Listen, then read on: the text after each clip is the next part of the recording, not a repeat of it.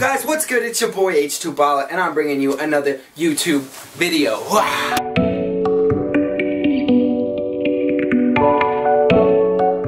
I have a little story for you guys. Today's story is about, about basketball.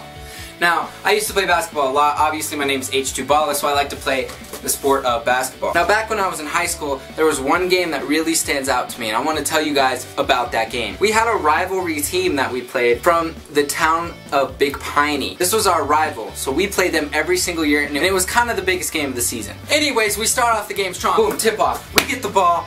We're running up the court, whatever, good first quarter of the game. Now I want to go through a few rules of the game. Obviously you can't travel, stuff like that. But one of the most important rules is if you have the ball and the clock is down three, two, one, and you throw it up, before the buzzer goes and the ball is going towards the basket. And as the ball is in the air and the buzzer goes off, if the ball still goes through the basket, the shot counts. Like the points will still count. That's important because the second half of the game, it was it was tied. It was pretty close, close, but we got down by three points. Passed the ball in. One of my friends is dribbling the ball up the court. He passes it to me at the top of the key. The clock's going down three, two, and then I throw it up in the air. The ball's plummeting closer and closer towards the basket. The buzzer goes off, and boom, the ball goes through the hoop. At halftime, we have a tie game. Okay, the score was 32 to 32. Now I'm really glad that I made that shot because that brought momentum to our whole team. Our whole team was stoked. We're all ready to go for the second half. We come out of the locker room. We're ready to go. Halftime was good. We come out. We start warming up. We're ready to go for the second half. We're gonna win this game. Is all I can think to myself and my teammates. Let's go. Let's rock. So you know, I'm sitting there. I'm warming up my three-pointer.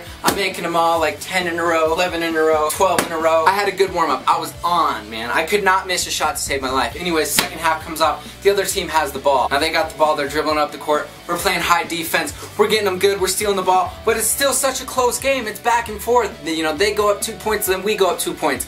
It was so intense. Now keep in mind, this is our rivalry team. So I have played them every year since I was a little kid and we have always played each other. We've always wanted to beat each other. So this is the biggest game of the year. The crowd, the stands are full of people. People are everywhere. There's not even room to sit. People are crammed in there cheering as much as they can. Third quarter comes to an end and it was close, man. We were down by two points. In the game of basketball, every person has five fouls. If you foul five times, you're out of the game. So two of our best players had got fouled out. And this kind of sucked because we're in the final quarter and we could win the game, but we our two of our best players are sitting on the bench because they fouled out. So I'm sitting there looking at my buddy, and we know that it's up to us to win this game, do everything that we can. We get our chins up high and we're ready to rock. We start the fourth quarter, we got the ball, we're dribbling up, man, it's close. We get up by six points in the fourth quarter. There's now 30 seconds left in the game, and boom, our rivalry team makes two three-pointers in a row, and now it's a tie game. What? A tie game? Now I have the ball at the top of the key. I had to be point guard because our point guard had fouled out.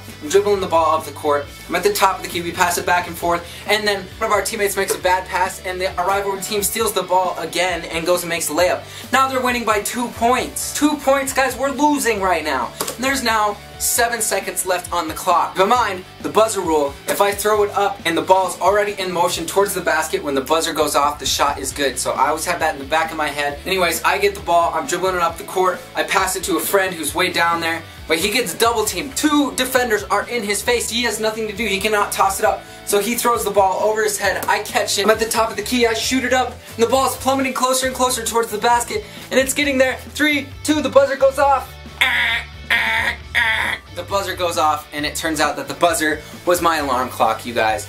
It was all just a big dream in my head. So let me know if you guys think that I won or lost in the comments down below. And if you guys have any crazy dreams, let me know in the comments. Also, make sure that you hit that thumbs up button. Make sure that you like, subscribe to your boy H2balla. And until next time, you guys, peace!